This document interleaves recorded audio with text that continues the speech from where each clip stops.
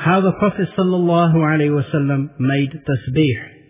Abdullah ibn Amr said, I saw the Prophet sallallahu alaihi wasallam make tasbih with his right hand.